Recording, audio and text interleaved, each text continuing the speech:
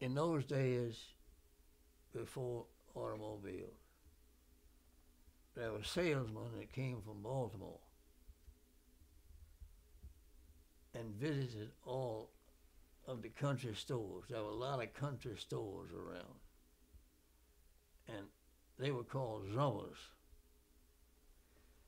They would take the orders, send them back to Baltimore, and the goods would be shipped on steamboats. And the merchants would send uh, wagons, uh, buggies, or horse drawn stuff to the walls and pick up the merchandise and carry it back to the country stores. So that was a big part of the steamboat days before automobile and trucks started to get plentiful. These country stores were stores that carried anything, shoes, clothing, uh, uh, groceries, uh, well, one of the things that was was ladies' hats.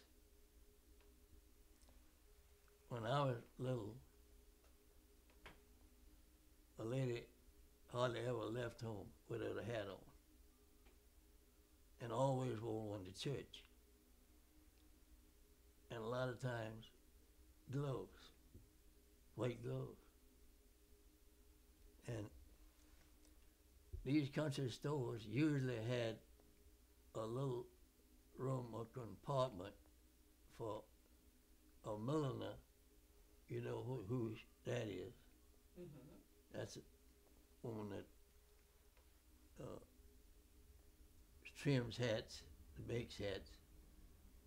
And my mother, in her younger days, was a mother. And she got, I'm sure, got her supplies from Baltimore. And maybe took some trips up there to get the stuff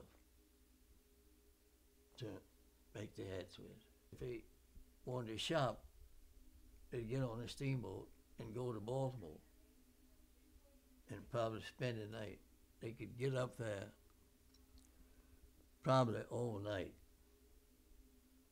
and shop in the stores in Baltimore and come back home the next day.